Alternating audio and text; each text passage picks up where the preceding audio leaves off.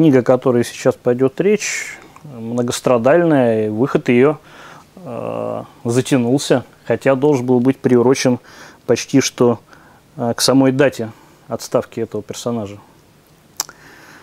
Как быстро практически в наших глазах то, что определяло нашу повестку и жизнь, вдруг становится э, чем-то населяющим мир призраков. В этом странном мире, мире э, не ушедших политиков, не исчезнувших э, легенд и мифов, Сурков занимает особое место. Он своего рода демиург этих полуисчезнувших и но все еще определяющих наше политическое бытие и сознание, э, идей, фигур, лиц, событий. Э, именно об этом и пишет Андрей Ашкеров в своей книге, о том, как Сурков готовился к своему уходу, оставляя за собой целую череду того, что Андрей называет аватары, которые, с одной стороны, повлияли на то, что Андрей Юрьевич называет сурковской пропагандой, вернее, даже не сам Андрей Юрьевич, а после знаменитой э, НТВ проповеди Григория Мелькорьянца мы все узнали, что это так называется, сурковская пропаганда.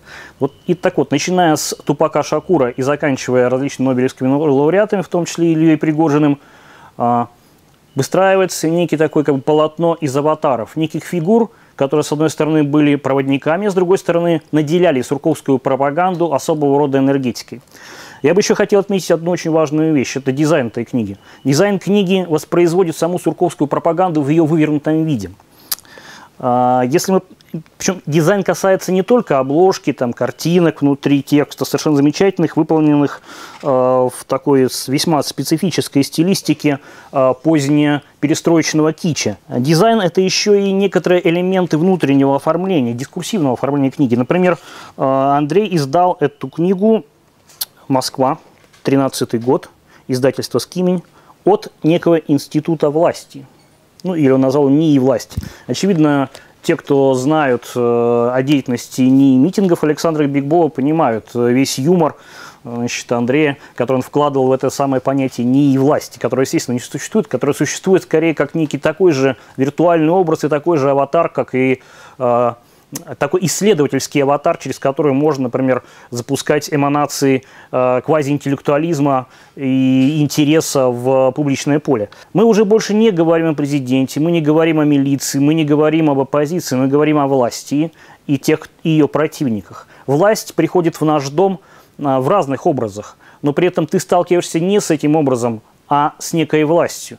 Власть оказывается чем-то обратным э, той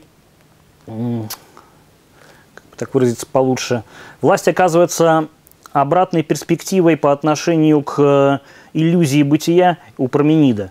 Власть – это то, э, власть – это окружность, которая везде, и центр, который находится нигде. Ты всегда находишься на периферии власти, где бы ты ни оказался, а власть сама оказывается изнанкой бытия.